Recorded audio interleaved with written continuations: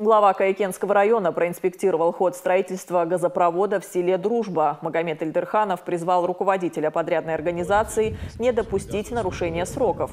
На этом участке уже проложено более трех километров газопровода, а подрядчик заверил, что завершит все запланированные мероприятия в срок.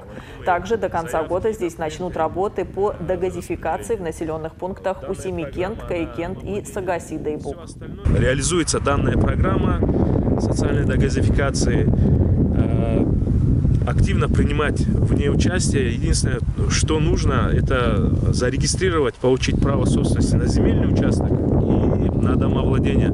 Все остальное мы совместно с эксплуатационной газовой службой района поможем э, включить в эту программу.